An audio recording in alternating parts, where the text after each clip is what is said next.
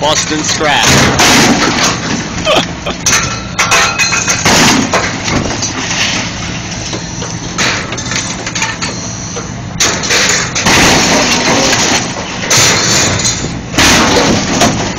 That thing must weigh so much.